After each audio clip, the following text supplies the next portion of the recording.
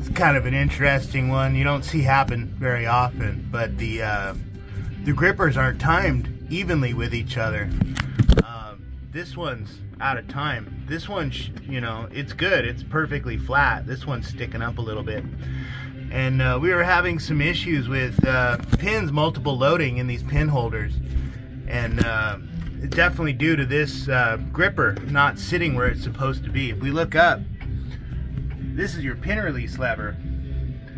With that gripper sitting open, it might inadvertently contact that pin release lever and drop a pin when it's not supposed to. So what we're going to do is we're going to pull out the pivot pins, one here and one on that back corner. And uh, we're going to gain access to the, uh, the pinion gears and the uh, gear track for these grippers. So basically, we're just to pop this out. Same on the other side. You guys can't really see. It's kind of a tight squeeze in here. I'm not a uh, not a tiny person either, so. Oops, dropped it. There we go. Uh oh, what have I done? So we've got the uh, pin detecting plate off. I'm gonna see if I can use my uh, what little fingernails I have. If I can kind of pinch and squeeze and pop this thing out. Uh, it may require two hands. There we go.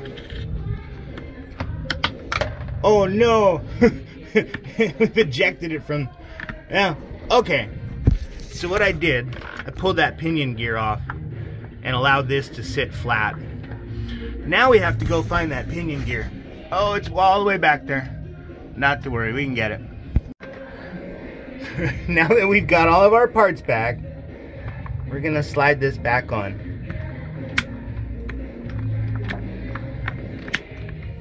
Click it back in place, we're good there. Our grippers are, no, we're still out of time. Dang it.